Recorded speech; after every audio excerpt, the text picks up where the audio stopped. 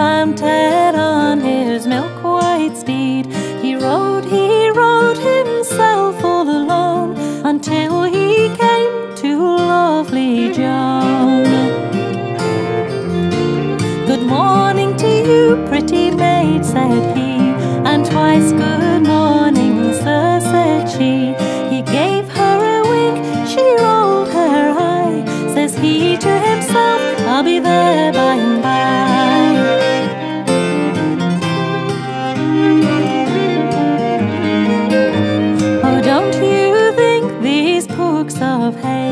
Pretty place for us to play?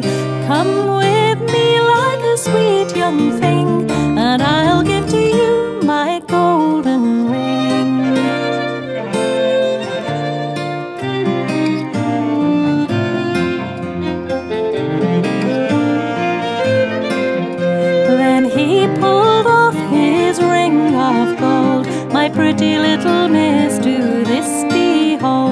I'll freely give it for your maidenhead. Her cheeks they blushed like the roses red.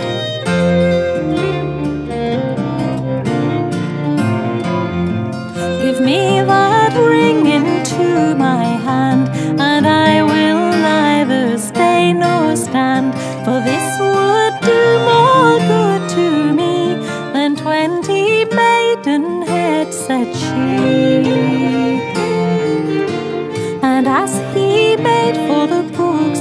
hay. She leapt on his horse and tore away. He called, he called, but was all in vain.